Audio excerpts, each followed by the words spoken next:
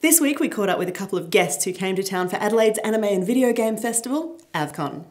Chris Pope, the Space Pope, is a US game developer currently hard at work on nostalgic point and clicker Space Venture. And while you might not recognise Steve Downes' face, you'll certainly know his voice as we chat to the man behind Master Chief. This is Player Attack.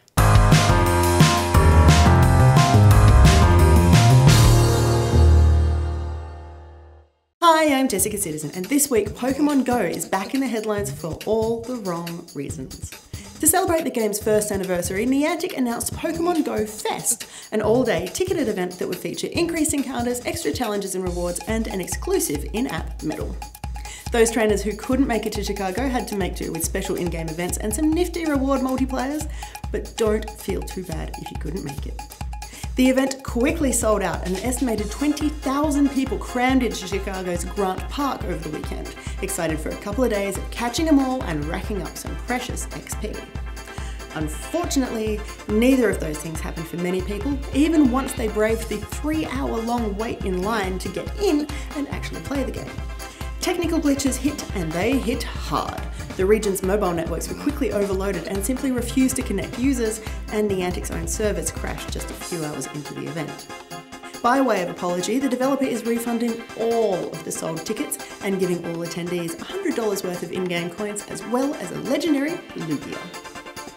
In happier news, Australia has qualified for the Overwatch World Cup at BlizzCon after an impressive group final stage held in Sydney over the weekend. The team entered the competition looking comfortable with early wins against Italy and Portugal before succumbing to Sweden on Sunday morning.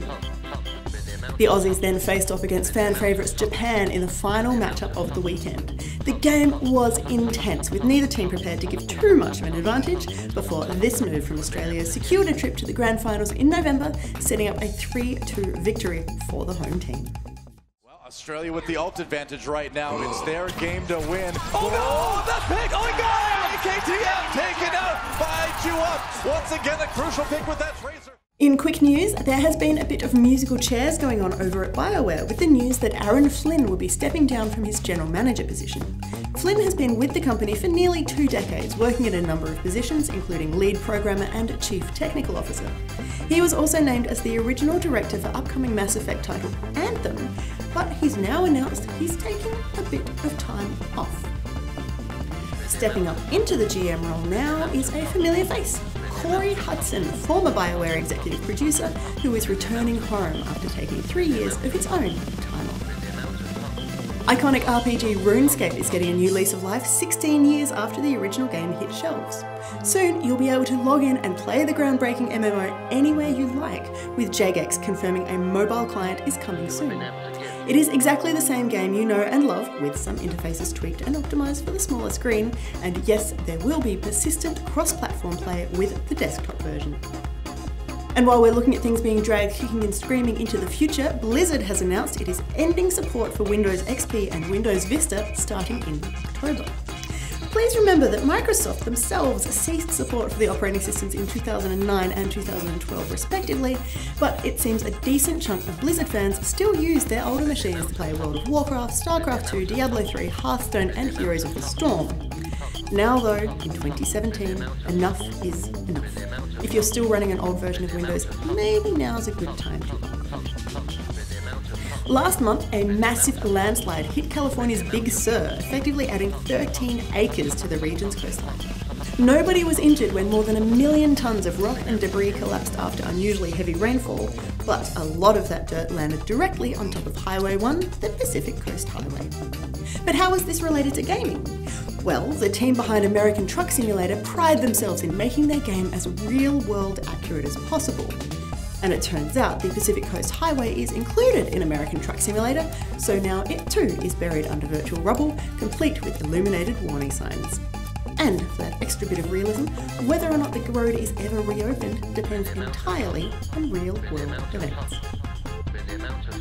We don't have many details about it at this point, but we do have some pretty pictures of the brand new Atari box.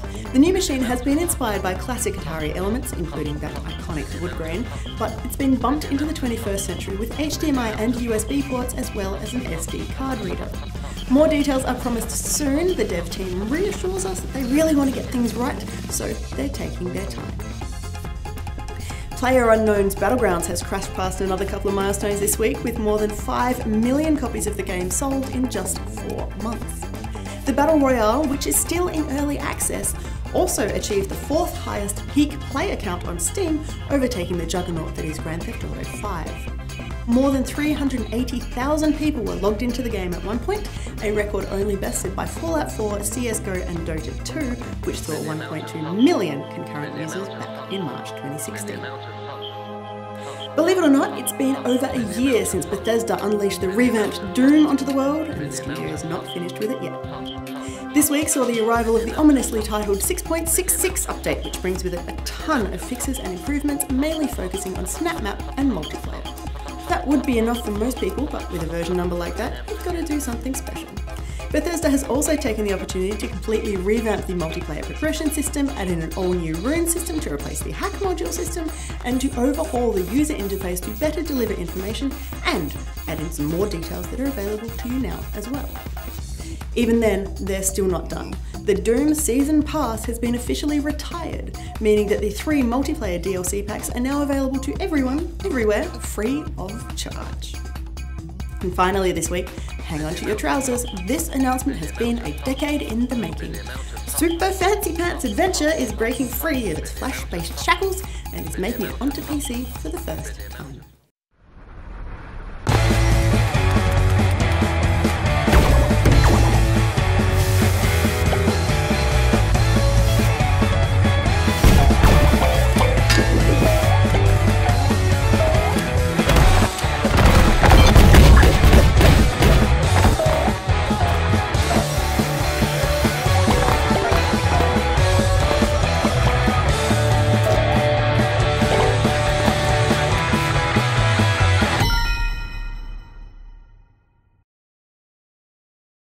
Sit tight, Pants fans, this one is due to hit Steam in August this year. For more information on any of these stories or to keep up to date with the latest gaming news, head to playerattack.com. But for now, stick around, got plenty more still to come.